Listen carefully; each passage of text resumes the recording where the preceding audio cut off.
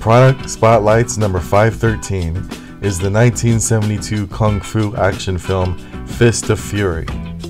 Also known as the Chinese Connection in some territories, this film stars Bruce Lee in his second major role after The Big Boss.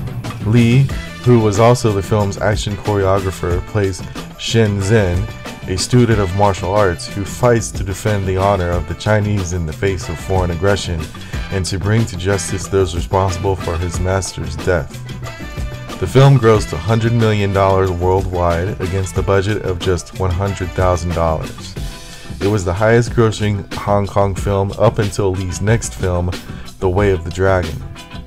Jackie Chan also appeared in this film as an extra and as a stunt double. Even though this film is somewhat dated, it is still highly enjoyable and I found it to be very entertaining and I was actually shocked at how bloody this movie actually is. I totally believe this is one of the major films that helped inspire a lot of the one-man army action films that would become popular in the 1980s. Also featured are Flamin' Hot Cheetos.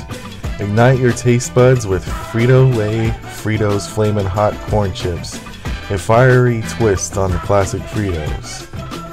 These chips pack a spicy punch, delivering a crunchy and bold flavor experience, perfect for those who love a serious heat kick in their snacks.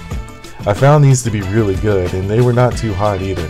Some of the flaming hot stuff is so hot that you can't enjoy it, but these were just the right amount of spice. I would buy them again.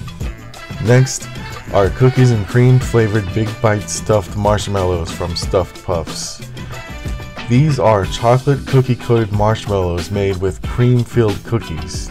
Each sweet treat is two delicious bites and jam packed with chocolatey flavor and cookie crunch, all wrapped in fluffy marshmallow.